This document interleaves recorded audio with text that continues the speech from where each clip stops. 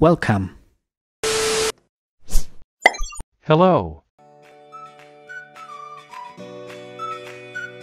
Did you know that the decisions you make based on your dignity are often right and in place, even if caused you pain in the beginning?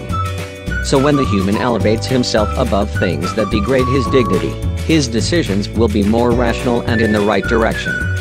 But they may be psychologically painful at the moment they are taken.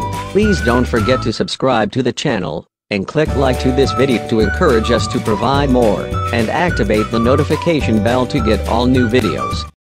Goodbye.